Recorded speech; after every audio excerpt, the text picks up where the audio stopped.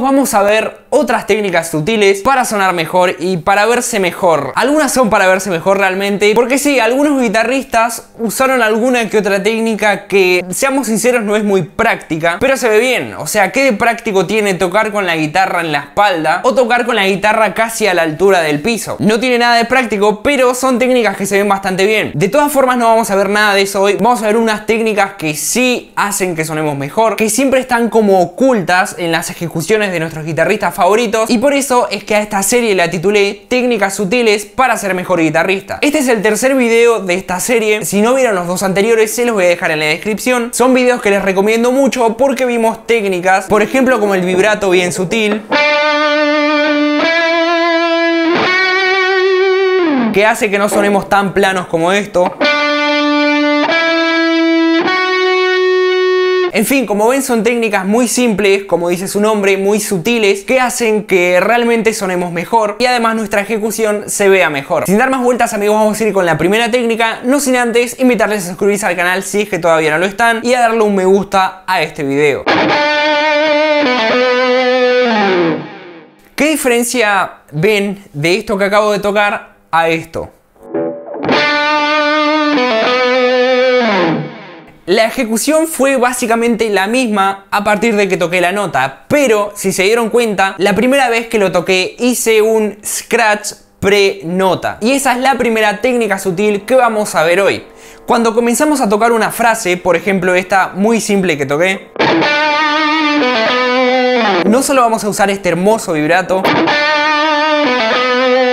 sino que antes de tocar vamos a hacer este pequeño scratch. Fíjense muy bien en la púa.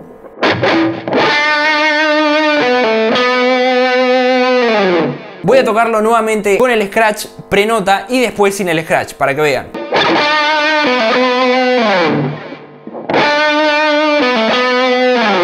Como ven, cambia de verdad muchísimo y esto se aplica a cualquier frase que quieran tocar.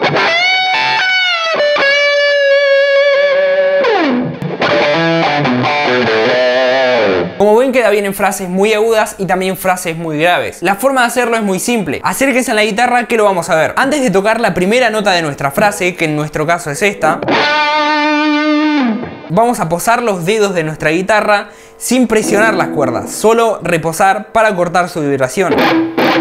Y con este sonido hacemos el scratch con la púa. Va a ser simplemente abajo y arriba. Y luego comenzamos con la nota. Veámoslo lento. Y ahora más rápido. Como ven amigos es una técnica muy simple, muy sutil, pero que mejora mucho el sonido.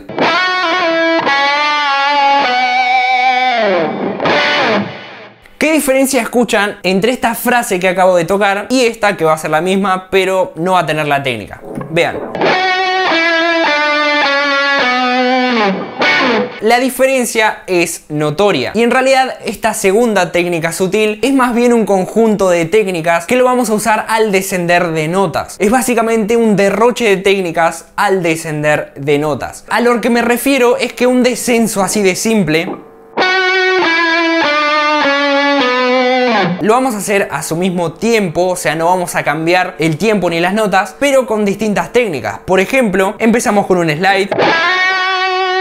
Luego, para pasar a la otra nota, vamos a hacer un slide de ida y vuelta. Y ahí nos queda... Luego, para hacer estas dos notas, vamos a hacer esta nota con un bend. Para que alcance esta. Hacemos un release. Y finalizamos. Si se dan cuenta, son muchas técnicas. Estamos hablando de slide, un slide muy rápido, luego un bend, un release y un slide. Y de hecho podemos usar muchas otras técnicas, como estas. Ahí estamos usando unos hammerons que también van muy bien, pero a lo que me refiero es que un descenso simple podemos modificarlo de forma que suene mucho mejor y tenga mucho más nivel, mucho más técnica. Con este descenso vamos a hacer otro ejemplo, le vamos a aplicar otras técnicas.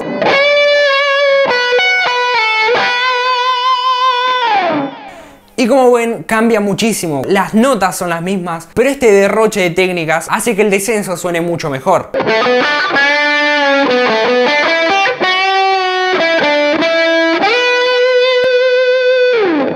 ¿Qué diferencia escuchan con esa frase que acabo de tocar, con la tercera técnica, a esta frase sin usar la técnica?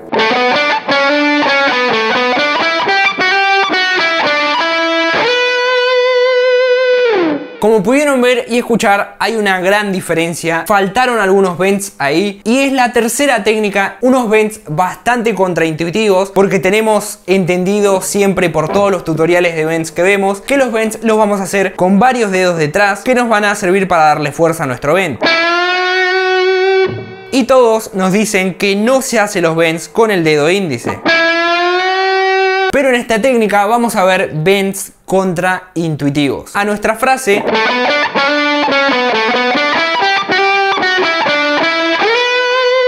le vamos a agregar unos bends que resultan, como dije, contraintuitivos porque los vamos a hacer con el dedo índice. Esto especialmente se puede hacer cuando tenemos una nota un semitono adelante o un traste adelante porque los bends con este dedo van a costar un poco, así que los bends van a ser de medio tono.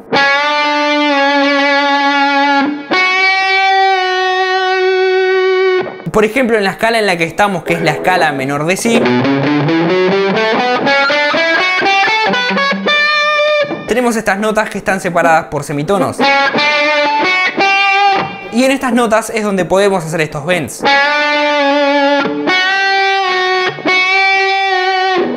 Y así nuestra frase cambia y suena mucho mejor.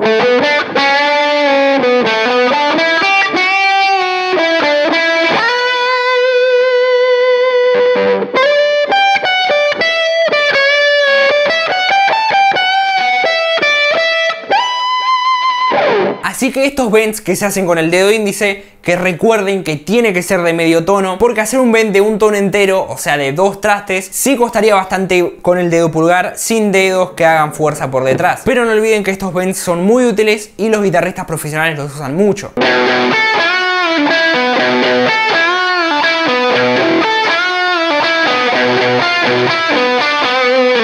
Diferencia escuchan entre estas frases que acabo de tocar con estas que voy a tocar ahora sin la técnica?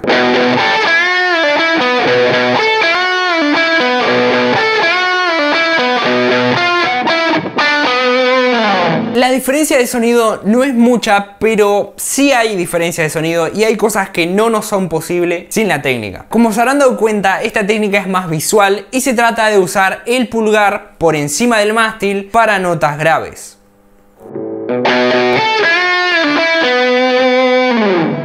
El pulgar nos va a servir únicamente para notas que se encuentren en la sexta cuerda. Pueden animarse a hacer también notas de la quinta, pero va a ser un poco costoso. Lo ideal es hacer notas que estén en la sexta cuerda. Por ejemplo, para mis frases les doy tres golpes de la tónica y hago mi frase.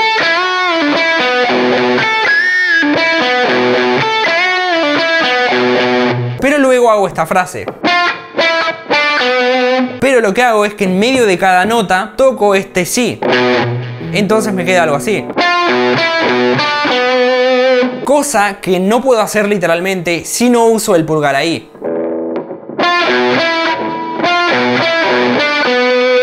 Bueno, de poder hacerse sí se puede, pero se ve y suena un poco desprolijo. En cambio, si usamos la técnica del pulgar arriba, esto se hace muy fácil.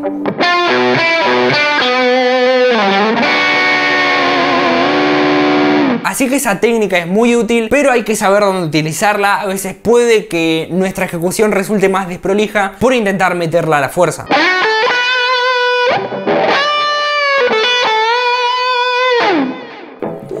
¿Qué diferencia ven de esas dos frases que acabo de tocar a estas que voy a tocar sin la técnica que vamos a ver ahora?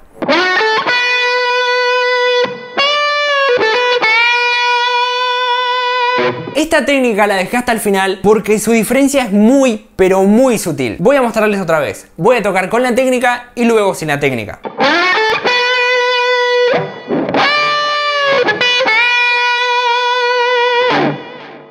Ahora sin la técnica.